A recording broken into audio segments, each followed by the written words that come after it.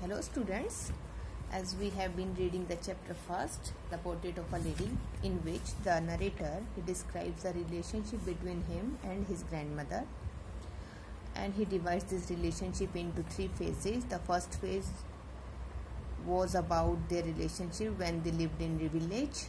At that time they had an intimate relationship, the grandmother and he they were continuously together and the grandmother used to look after him after that the change in their relationship came when they shifted to city house. This was the second phase of their relationship. Then the narrator started going to an english school in a motor bus and he started learning western science english words and uh, other things like music then the third phase started when the narrator went to university for further studies. And then he went abroad went to abroad for further studies. And when he came back the narrator's grandmother also went to went to the station to receive him. On that day the narrator found that still her favorite time her happiest half an hour was with the sparrows because she used to feed the sparrows as she was a kind hearted lady. So, what happened after that? In the evening, a change came over her. She did not pray. So, what change came came over her? Came to came over the narrator's grandmother that she did not pray even she used to pray all the time most of the time always but on that day when the narrator came back on that day she did not pray even she collected the women of the neighborhood got an old drum and started to sing what did she do then she collected the women of the neighborhood अपने पड़ोस की औरतों को उसने इकट्ठा किया दादी ने got an old drum she brought an old drum drum जो होता है ढोलक जैसे बोल देते हैं and started to sing and she started to sing with those women women. For several hours she thumbed the saging for several hours for many hours she thumbed the saging skin of the Delhi dilapidated drum dilapidated means which is in not not in good condition. So she thumped the loose skin of that dilapidated drum dilapidated टूटा फूटा जो होता है। And sang of the homecoming of warriors and she sang the songs of the homecoming warriors the sing the songs which are sung whenever any homecoming warrior comes do remember any so any song like that like घर आ जा परदेसी तेरा देश बुलाए रे like this we had to persuade her to stop to avoid overstaying. We means the narrator and his family members. We had to persuade her to stop to avoid the narrator and his family. They tried to stop her and they asked her not to tired herself and they asked her to avoid overstraining. Overstraining, strain means stress, hard work. That was the first time since I had known her that she did not pray. Otherwise, she always used to pray. So that was the first time since since is used to show point of time. So this was the first time since he that means the narrator had known her that she did not pray otherwise she used to pray always the next morning so this was a change in her. She collected the women and she started singing the songs of homecoming warriors. And she just uh, she did not pray on that day. The next morning she was taken ill. And the result was next morning she was taken ill. She became ill. It was a mild fever and the doctor told us that it would go. Mild means light the doctor told to the family that it was a mild fever and it would it would go चला जाएगा बुखार है हल्का सा because she was aged so it happened with her but my grandmother thought differently earlier also this sort of point was mentioned when the narrator went to abroad at that time the narrator mentioned it that no one could tell at such age at her age that she would survive or not. But the grandmother could tell. Here also when the doctor he declared that it was a mild fever and it would go but the grandmother thought differently. And what was the different thought? She declared that her end was near. This was the thing. The grandmother thought that her end was near. It happens with some elderly persons. Whenever they they are going to die they declare their end they declare their end she said that since only a few hours before the close of the last chapter of life she had omitted to pray, she was not going to waste any more time talking to us. What did she say?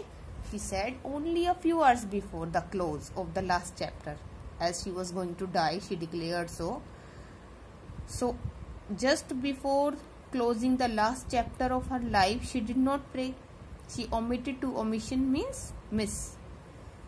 So she missed to pray just before the closing of the last chapter of her life that means just before her death and now she was not going to waste any more time so she decided that she would not waste any more time talking to them to the members to the family members of the narrator we protested. The narrator and his family protested. They just asked her to not to do that. But she ignored our protests. But the grandmother she ignored whatever the family said. She lay peacefully in bed praying. What did she do? She she was just lying peacefully in the bed and she was praying. As she ignored the protests of the family and telling her beads and she started telling her beads. Even before we could suspect, her lips stopped moving. So, even bef just before when the narrator and his family could suspect that she was alive or not, her lips stopped moving. And the rosary fell from her lifeless finger. That means she died. So the rosary which she kept in her hand also fell from her lifeless fingers. A peaceful pallor spread on her face and we knew that she was dead. Pallor means paleness. Whenever a person is weak, uh, the person is dead or the person is unconscious, then this sort of pallor is visible on the face. A peaceful pallor एक शांति भरा, एक पीलापन। Spread on her face that came on her face and we knew that she was dead and the family members got to know that she was dead it was confirmed we lifted her off the bed and as is customary laid on her the ground and covered her with red shroud then the narrator and other family members they lifted her off the bed and as it was customary as it was according to custom their custom laid her on the ground so they laid her on the ground उन्होंने उसको उतार कर bed से custom के according ground पे रख दिया and covered her with a red shroud shroud means that covering that sheet which is which is used to cover the dead body shroud means coffin so they covered her with a red shroud. After a few hours of mourning, we left her alone to make arrangements for her funeral. Funeral means Antim Vidai. So after mourning, mourning jo vilap hota hai, they left her alone to make other arrangements of her funeral. funeral.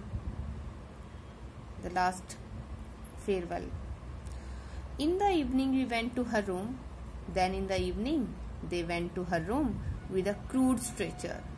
Crude stretcher arthi ko bolte to take her to be cremated so that her cremation could be done. The sun was setting and had lit her room. What happened then? The sun was setting. सूर्यास्त हो raha tha and had lit her room and that filled her room and veranda with a blaze of golden light because the evening sunset light is golden. We stopped halfway in the courtyard. The narrator and others they stopped halfway in the courtyard. When they arrived courtyard, they had to stop. They had to be stopped. All over the veranda and in her room, right up to where she lay dead and stiff wrapped in the red shroud, thousands of sparrows sat scattered on the floor. This was the scene. All over the veranda and in her room, right up to where she lay, जहाँ वो लेटी हुई थी मरी हुई and stiff, stiff means tight, tight. So tightly wrapped in the red shroud, in the red covering, in the whole veranda in the room thousands of sparrows this is a this is an important point earlier it was mentioned whenever the narrator's grandmother used to feed the sparrows hundreds of sparrows used to come there but today they were in thousands they sat scattered on the floor bikri padi thi floor pe that means they were just lying on the floor there was no chirping.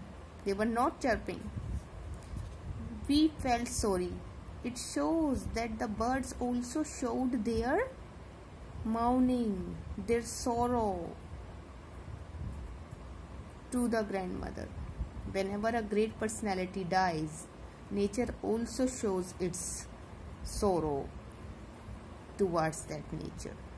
Then a grandmother was also a good personality she was also very kind-hearted, so that's why thousands of sparrows came there. We felt sorry for the birds. The narrator and his family members felt sorry. They were feeling bad for the birds and my mother fetched some bread for them. Then the narrator's grand narrator's mother fetched some bread for those sparrows, for those birds. She broke it into little crumbs the way my grandmother used to do the mother of the narrator she broke the bread into little crumbs into little parts in the same way his grandmother used to. And threw to them and she threw those breadcrumbs to the sparrows. The sparrows took no notice of the bread. But what happened? The sparrows did not take any notice of the bread. They did not pay any attention towards the bread. They expressed their sorrow. They were also feeling sorry on the death of the grandmother. It shows. When we carried my grandmother's corpse off, they flew away quietly. Corpse means dead body of human being. The dead body of uh, animal is called carcass. The dead body of human being is called corpse. So when we carried my grandmother's corpse off, when the narrator and others they carried their carried narrator's grandmother's corpse off, they flew away quietly. All the sparrows flew away quietly without any noise. Next morning, the sweeper swept the breadcrumbs into the dustbin. And next morning, the sweeper swept the breadcrumbs into the dustbin he just swept them away because they were not eaten by the sparrows because the sparrows they, they took no notice of them. So this paragraph is also very important. There will be a question how did the sparrows how did the birds express their sorrow towards the grandmother or on the death of the grandmother? Then the answer will be in this paragraph. Okay students today this chapter is completed. In next video we will start poem first a photograph. Thank you